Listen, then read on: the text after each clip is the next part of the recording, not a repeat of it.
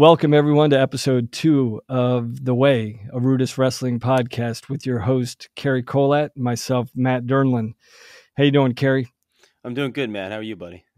Good, good. So uh eager to to jump into uh chapter two of Switch. You know, last week we uh with our first episode we kind of, you know, started talking about what what uh this podcast is going to be about and what we're trying to accomplish here. And, you know, we're, we're jumping in and, and trying to attack um, the book Switch. So, Right. I don't know if care, care if you want to talk a little bit about the book or or uh, yeah, recap you, kind of what we covered last week.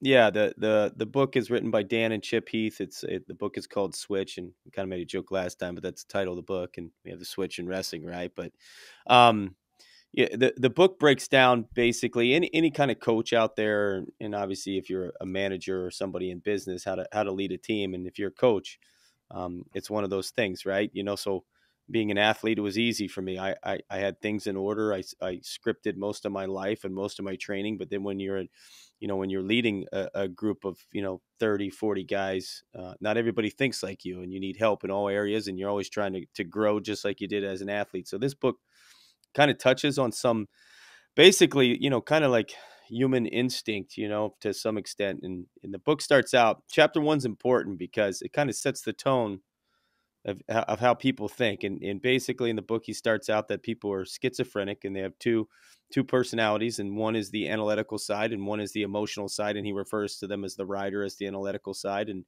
and the elephant as your emotional side, because it's the, the, the biggest and strongest part of you. And, and the idea is to get people in sync with those two. Um, if you're leading a team and you want to appeal to your team and you want to get all your guys to go in one direction, then you lay down goals that are that appeal to the rider and and and get the emotional or the elephant um, all on the same path. And if they're on the same path, um, then guys are are, are typically going to go further or they're they're going to last longer, whatever it may be. And and so that's chapter one um, which is an important chapter. And if you are reading the book and you're following along, um, you gotta you gotta remember that part. And now we're in the chapter two, Matt. Right? We're we're talking about um, bright spots, and and uh, the book is basically a breakdown of case studies for the most part. And uh, I really like chapter two. Um, I like uh, what I appeals to me is the simplicity of chapter two, and and um, he goes through a few different things in there. Um, and you know, one we we kind of jumped into going into uh, after the uh, last show. Um, and the bright spots, one of them was a guy named Jerry Stern, who was um, he was contracted by United Nations, I believe, um, and I may be wrong. I can't think right now. Um, to go to Vietnam because they had a, a problem where, where kids were dying at a young age due to malnutrition. And, you know, he went over there with the idea to try to help fix this and um, for the UN. And and if you read that section, he said when he got off the plane, um, he wasn't met with open arms. Uh, you know, I, I, think the the people in charge didn't want to be uh, embarrassed by his findings, and they actually gave him about six months to figure out how to fix this problem. And if he couldn't do it six months, you know, he basically had to leave the country. And when you hit the he hit the ground, you know, you look at it there. There was a tremendous amount of problems. This is a a country with which majority of the people are living in poverty so you don't have the the money to to get adequate food that you'd like to get, you know, for your children. Uh, poor sewage, poor drinking water. Um, you know, uh, it, it, was really just a mess. And when you look at it, it was probably, you know, billions and billions of dollars to fix the problem, which this guy did not have. Um, and he fixed the problem, and he really fixed the problem within six months. Basically, within six months, he had put the plan in place to to help these kids and, and help these mothers and uh, it's pretty impressive how he did it and very simple and that's what i like about it. You know and you know chapter two was almost like this is a crash course on how to run a program. Yeah um w- when i read it because you know when you take over a program and you know what year is this for you at campbell? Fifth. This is my fifth year. Fifth. Yeah. And so when when you jump into a program you know when you're talking about building a program, you you can think on larger levels, right? You can think the the long term the long term goals of the program. Where do you want it to be? You right. know, and I think I think um, um, with with uh, the gentleman that went to to Vietnam, he had a relatively short time to to solve a problem, and I think that's that's our role as coaches is we're trying to build a program, but in in in the short term, you have a very small window to affect change in four years for for these guys. So, yeah, right.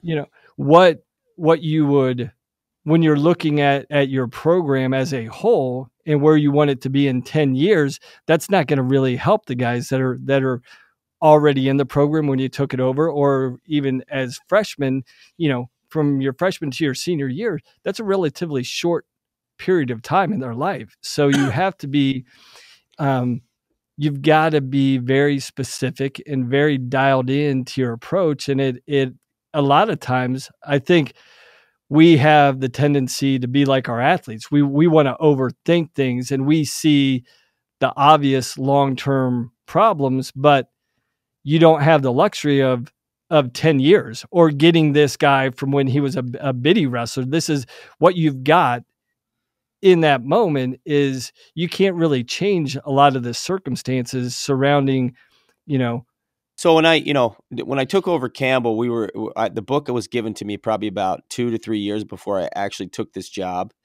and um, I took over a program in dire dire straits. Um, you know, and when you say in, in athletics, you know the the saying everybody's heard it: you win, you live, you lose, you die. And um, so you do only have so much time. And, and one of the things my I was concerned about is I had a I had a future plan for the program, but none of that was going to happen without results you know so i had to put a short-term plan together you know what could we accomplish on the type of guys that we had at the moment um, and then how are we going to and recruiting's the biggest thing right? That's your that's your bloodline. That's everything you know? The recruiting's got to be right. And what i was going to do to recruit to fix that program i wasn't going to get you know top tier kids out of the gate. It was not going to happen. Um, you know, so we had a plan in, in, place for recruiting that allowed us to win conference in, in, in three years and have a great NCAA tournament for, for the program. And, and now we're sitting good. We just took 10th at Midlands. And I, as I was saying before, I had a guy um, who was one of the original Campbell members that just sent me a, a text the other night saying, uh, I'll be honest, I doubted you and I didn't think it would work, you know?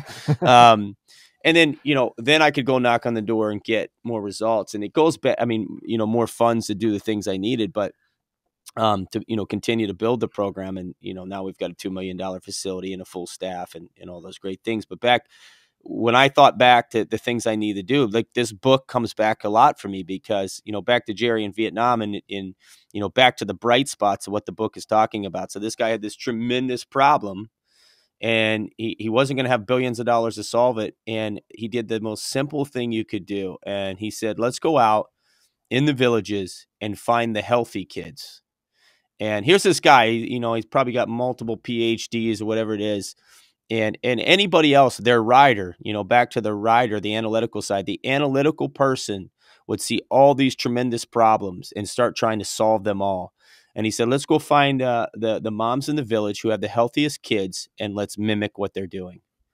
And I just I, I found that you know it's simple, it's brilliant, and when you go back to wrestling when you know that's I, I, look at my career i wasn't i didn't know i was doing but uh, that's what i was doing i was copying you know if you want to call it being a copycat or mimicking people like you don't need to reinvent the wheel you know and you can't be so stubborn that you know you can't look at your opponents and say okay wh- what what are they doing and why are they beating us? You know what what are they doing you know and and can we take any pieces of that and does it fit us you know? And I've I've run into a lot of stubborn people and I'm sure you have because they're not willing to do that right? They got too much pride and and I had no pride when it came to to trying to figure out a way to win. If that meant you know doing the workout that you do or picking up a do I had no problem going to where you train Had no problem doing that stuff. And and I think Jerry in this in his book mimicking what the poor woman was doing who had no money and had healthy kids, um, and then taking that information and giving it to the rest of the country.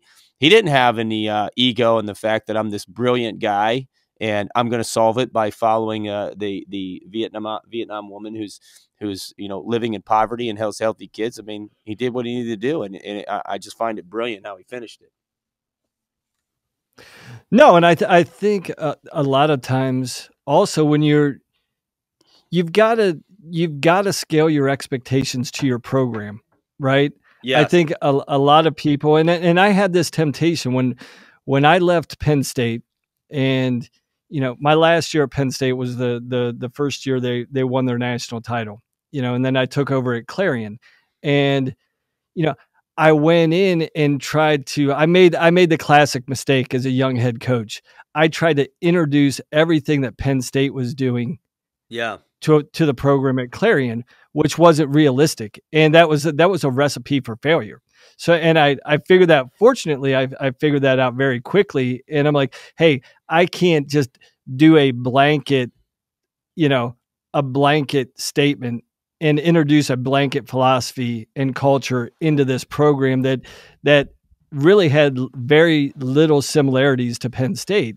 So what I had to do you didn't, was you I didn't say you didn't you didn't you didn't say to your team we're going to win the national championship in your first day. right? You know, I, I, mean that's the classic right? that's the classic mistake, right? A big ego guys and they feel like they have to say I, I you know and um I never said that to my guys because the truth is you have to the guy uh, you know the, these college guys aren't aren't idiots. And so what you have to do is you have to keep laying down the foundation and and recruits aren't idiots. You got to keep taking one step at a time you know and and um, you know I, we're in that place now where my guys are starting to see it. Hey we could win a national title. We keep growing you know and i use other programs who are like the uh, us at one point where they're at hey virginia tech was I, I tell people maybe worse than campbell you know 15 years ago 20 years ago. I mean do you remember how bad that program was yeah, I mean that was you got excited when you you saw Virginia Tech on the on the schedule, right? yeah, I mean, yeah, it's like, hey, yeah, yeah, yeah. So I mean, it, it, but you have to get the steps right. You got to do the steps first and and um, lay the correct foundation and and script the moves. Um, you know what you're going to do, what you're going to accomplish first, and and do those things. And and um, but yeah, back to what you were saying. I'm sorry. Go back to you. Yeah, so I think I think one you have to be a one realistic about the the program you're in and what success means to that program right? And that that's the most difficult thing for highly competitive people is to scale their expectations because you think you think you're compromising or nego- you're trying to negotiate success. It's like right. no i should be. Like the only way you know the only thing i know how to do is talk about winning the national title or you know um, talking about winning a team championship. Well when in the reality of a lot of programs like hey i need success for me is actually getting guys to the national tournament. Right. So how do i make that happen? Because that's the first step along the way. I can't i can't develop national champs if i don't have guys in the tournament. So getting guys to the tournament and then learning how to navigate the tournament and then learning how to success to have success it's it's a process. It's very se- sequential. And you know i think the one thing that that's in short supply not only in wrestling and coaching in in in any avenue of life like patience is not a strong attribute of a lot of highly competitive people right. and i think that's where um you know the the beauty of what this chapter talked about is like hey i i kind of want to say it's like moral victories and maybe that's not the right the the right way to characterize it, but it's like showing, you know, short-term success because people need to find success. They right? I mean, that's that's that's important. Like Well, this is why guys, this is why every freshman, how many freshmen, you know, who make the the jump to D1, right? You lose a bunch of guys because they don't see the carrot for the longest time, right? It's it's right and, and so that's what you got to get them to focus on eh, of the small gains. I mean, I'll give you an example. I have a freshman right now who's struggling. He's he's struggling. His his record is is not that he's he's five and seven as a true freshman. Um, you know, he wasn't coming in as a national champion. He was a part time wrestler. Um, who made the transfer his senior year to full time wrestling, and he's he's absolutely struggling with a five and seven record.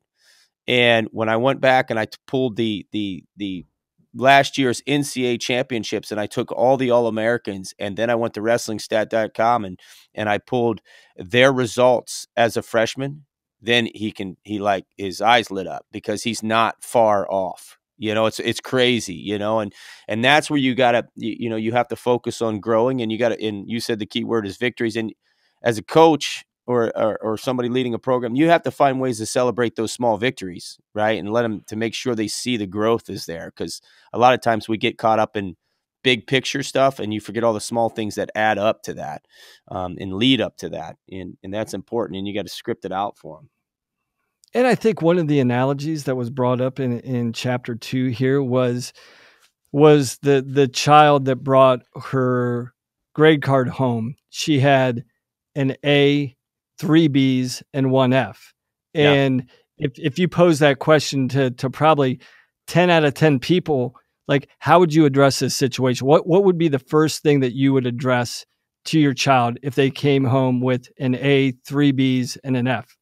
Most people would jump right to the f. Like right. why are you failing? Why aren't you having success? Instead of to your point when you look at a lot of freshmen if a freshman in college can have a 500 record that's that's pretty good i mean that's not part i mean that's that's typically where m- the majority of freshmen come in. If they're 500 or in and, in and around 500 their first season, it's like that's a that's a really positive building block that you can springboard from into your into your sophomore year. Whether, but a lot of coaches and a lot of athletes they just focus on the negative side of the ledger. They're like, "Yeah, I'm only five. I'm, I'm only mediocre," and you you have to explain to them, "No, this isn't this isn't mediocrity. You're actually very successful. it just, you know, in relation to how this process is going to work. And so, you know, I think that's really, really important to con-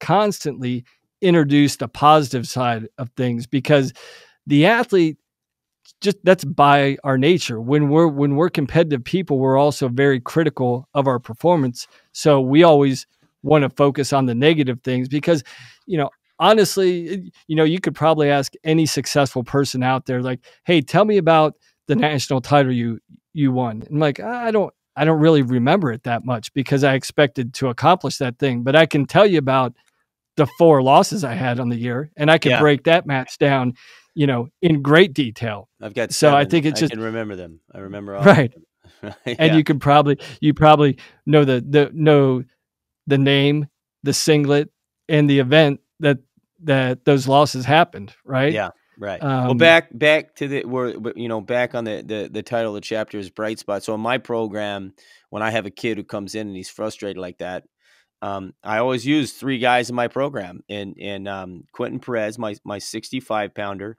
as a as a true freshman, was five and 20 right? Five wins, Matt, and and the five wins were to non-division one wrestlers. So you can't even you, really in the end you can't even count those wins, right? So he's like 0 and 20. And um and now he he the next year he he got himself in the rankings. He um took himself to the NCAA tournament by winning SoCon. And so he's a bright spot, right? He's somebody that okay, what did he do? You know, and I can tell you what Quentin did was every day when I opened the door, he was there. He's a guy that you just have to kind of tweak. You know he's going to be running, you know he's going to be doing the conditioning, you know he's going to be lifting, you know he's going to be drilling. And and so the work was not a problem with him and it was just fixing the technique. And then, you know, Josh Heil who's who's uh was redshirting last year, his true freshman year was 0 0 and 11 or 0 and 13 at the start of the year and his you know his brother's a two-time defending national champ so he's got this standard that he's wrestling up against anyway and um, you know, and then he at, by the end of the year he won like 15 straight matches or 13 straight matches, won the SoCon, with the nationals, and then my heavyweight, um, Jere Heino. I was just looking at his record, and he was, I think he was um, 13 and 15. You know, didn't even have a winning record. Now he's one of the top heavyweights in the country, and you know, and so what you know, obviously we make those guys our captains, and you know, we tell our our other guys and our true freshmen coming in, hey, you can't go wrong doing what these guys do you know duplicate what they do you know mimic it as much as you can and then add your own stuff to it um, in terms of the work and the extra time and the extra drills and, and and then the technical side. So you know that's that's back to what the book is talking about is just focus on the bright spots um, mimic it copy it and and you know grow from it and i i think you know to your point there i think it's also important as coaches is to pull appropriate examples for the appropriate kid. By that I mean, you know, if if if you're, you know, talking to a kid that was maybe not a high level not a high level recruit, but he has high levels of expectations. It's hard to say, you know, like when I was at Penn State, you know, for one of those kids, it wasn't like this the the number one recruit in the country that was, um, and you you start using examples of David Taylor, all of a sudden, like like you were saying earlier, these kids are smart. Yeah. In their in their mind, they're like, uh, "Hey, coach, I'm not David Taylor. I'm never going to be David Taylor." You know, so that's to to give him an example of the struggles David Taylor went through, he's not going to completely identify with. But to your point, like with with all your wrestlers, you know, there's appropriate examples that you can use that are are very consistent with other guys' struggles on your team. Like I had a guy at Binghamton who was when I got there, he was in his second year. He was coming off. He wrestled his first year at 197. He was like one one in 20, and three years later, he was ranked in the top 15 and was our first conference champion in the EIWA. Right. And so a lot of guys could identify with that. They're like, hey, here's this guy that was never a state champ, you know, that was only a state placer who won one match his freshman year, and four years later, he's ranked in the top 15 and wins a, a conference title. And so, in that regard, they're like, oh, that's attainable. I can do that. I'm as good as that guy, right? So it's right. it's it's being cognizant of pulling out the right analogies to, to to use for your other athletes that make it tangible for them to believe that success is possible. And as and I think that's the, the, the beauty of the, the the bright spots is they really simplified things. Right. And back to, you know, if you're listening to this, once you start to achieve success in, in, in our sport, let's just say it, it's it's it's it's winning, right? You you can't deny it. There's a win and loss co- column, and once you start winning at, at, the college level, your recruiting changes, and then your standard changes. Maybe you're a freshman five years from when you got here. I might be sitting here another five years from now saying that you know, the, the average freshman on my program goes, you know, uh, I don't know, 20 and five instead of five and 20, you know, to start out in, in, um, and then your standard is different, but your kids should be different by then. And, and I think that's where coaches get frustrated. Again, we go back to make sure you use the right comparisons and the right people. Um, but understand as your program starts to become more successful, you're, the kids you attract and, and the expectations they put upon themselves changes. That's the biggest thing because your program starts to change your kids as we people always like to use the term culture. And as it changes, um, you know, they're they're better. They're they're more resilient. They can handle more. I feel like now I know well, I know now for a fact that my freshmen that we have now in terms of training, when I got there, I had a certain format for training, and it was uh, I didn't work out anybody over an hour for the first, you know, six, you know, first first half of the year um, because I didn't feel like they could handle it. And if I tried to keep guys in there hour and a half, two hours, they would just mentally break down. And then over time, we've gotten that that level of intensity up and the level of training up. And my freshmen coming in now know they don't know any different. And the ones who stick it out are, are much stronger for it. And and that's just normal growth, you know. And and we've used those kids who started with the program and have changed their careers, you know, as that. I think an, another part. Do you remember the part when there, there was a part actually? I had made a note as I was going through the chapter, and and there was a part uh, uh, about video, and uh, and and I do this with my guys, and I did it as an athlete. And I don't know if you did. I always like to, say, but I never watched matches where I got beat.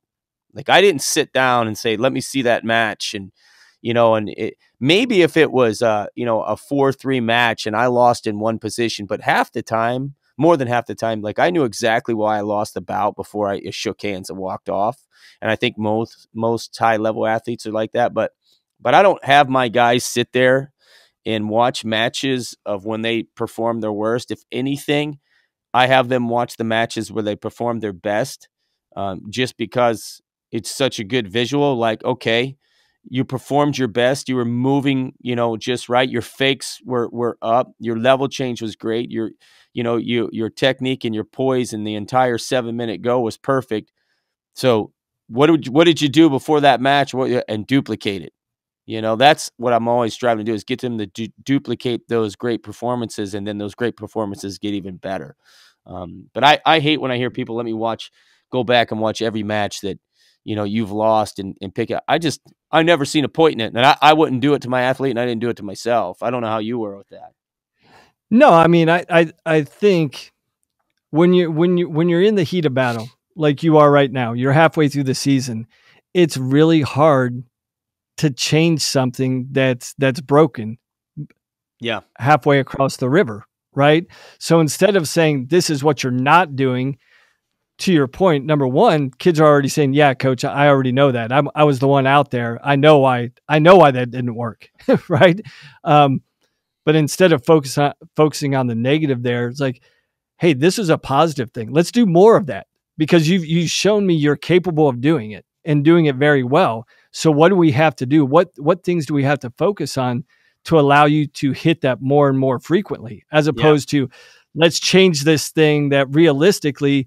isn't fixable in the next two months. You know, for us to fix it, may, maybe in April we can break out the tape and like, hey, let's really break down why why we're struggling in this area or why we're not able to execute this this technique in this situation. Let's let's let's focus on that from from April to September as opposed to trying to fix it from January until the middle of March. Right. Instead, hey, this is what we're doing really really good. What can we what are some easy fixes to add to that to allow you to hit this hit this technique or or hit this move more frequently to have a maybe a higher rate of success or a greater likelihood of success right exactly yeah no that's that's exactly how i agree like i said when i come back to video that's I want to be on point. I want my guys always seeing themselves at their best. You know, it doesn't mean as a coach. Now, there's some days you go and kick somebody in the butt. That's for sure. You got to watch something. But for the most part, I want them firing on all cylinders mentally and, and physically at all times. And, and so I want to focus on the, the best parts of them, you know, for most of the season. But, you know, and I think that's, that's, you know, the one thing sometimes what's easy to overlook as a coach is how powerful our words are, right? And how long that they can stick with someone. So, you know, you have to introduce negative things to to get improvement, but also kids need reinforced over and over and over again. Like it's the old business analogy, KISS, right? Keep it simple, stupid. It's, yeah. Just, it's the same way in coaching. A lot of a lot of times we over overcomplicate things as opposed to just, hey, keep it simple. Like, hey, you're doing this really good. Like, right. I believe, I believe in this. I believe in you. You can do this. And then, you know, you say that 10 or 20 times, and then you introduce something like, hey, maybe we can tweak this. Not, not like a big overarching change, but a minor tweak. And all of a sudden, you've been reinforcing all these positive things that when you actually introduce a certain element of change, it seems a lot more feasible and a lot more attainable because it's it's you haven't been saying harping on that over and over and over again because when you when you do that it almost seems like you're creating even more of a barrier for your athlete to overcome as yeah. opposed to minimizing it yeah exactly well we're at we're at 30 minutes man and i'm yeah i think that's How about you? that that is uh good for for today. It's almost like it seems like this whenever uh when i'm talking to ben about things it's like there's there's so there, there's so many great gems just yeah. in one chapter that that we I don't think we even got to half of them, but hopefully we were able to to touch on some things, spark spark some thoughts or spark some discussions. Yeah. Um, All right, man. You want me to sign it off, or you want to sign it off? Yeah, go ahead and sign it off. All right. All right. All right, well, everyone. I hope you enjoyed the episode two of of the way. Um, again, we're reading the book Switch, and just Matt Dernlan and I are are breaking it down chapter by chapter, and just seeing how we can relate it to to what we do out there, man. Whether it's coaching and in um, or, or, just just being a parent or whoever it is. But um, anyway, hope you enjoyed it. Um, the book is by Dan and Chip Heath. If you want to pick it up and, and follow along, be my guest, and and um, have a good night. All right, Cary. Take care. All right. Bye.